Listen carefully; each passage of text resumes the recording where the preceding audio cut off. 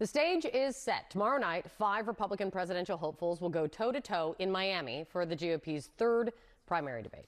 But once again, the odds on frontrunner will not be in attendance. Donald Trump ditching the debate for the third straight time, instead, holding his own event, a rally in South Florida.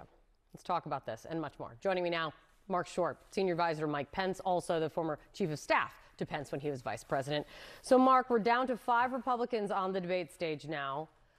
What do you think this is going to look like? By the third debate, what do you think they need to be doing if they have any hope of survival? Well, I think you're probably going to have a lot more of uh, a contentious evening between Nikki and, and Ron DeSantis. Uh, I think that the two of them seem like they've sort of separated from Tim Scott, Vivek, and Chris Christie. And so that's probably where more of the fireworks will be. Some of the others will look to try to engage more in the debate. Um, but I think that, uh, you know, as time goes on, uh, President Trump's decision to avoid the debates, I think, is unfortunate for voters. But I think politically, it continues to make it look like the rest of the debates are somewhat of an undercard. And so I think that's probably played to his benefit thus far. Do they have to go like just guns blazing? I hate any kind of analogy like that, but at Trump at this point, I mean, if I, I don't, they are making distinctions or have been trying to, but if they're quote unquote seen as playing nice at all, against Trump, even though he's not there. I mean, how do you how do you get this right as a Republican candidate yeah. not named Trump when he's not on the stage?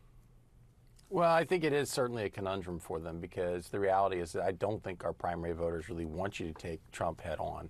Um, but at the same time, how do you end up getting traction if you if you don't? And so, uh, I think it, it, certainly is a challenge. I do think you know something that, that we discussed some last time, Kate, is I still think there's this conventional wisdom that says what we need to do is to get down to one candidate to go mano a mano against Trump.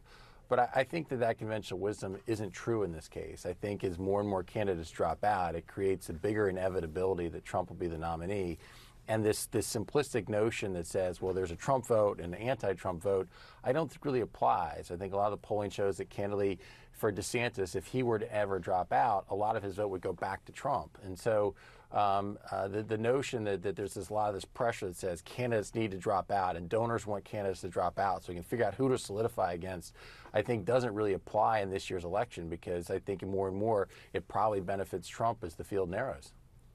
It's I, I have been really I've been thinking a lot about that analysis that you've been offering. It's really interesting perspective.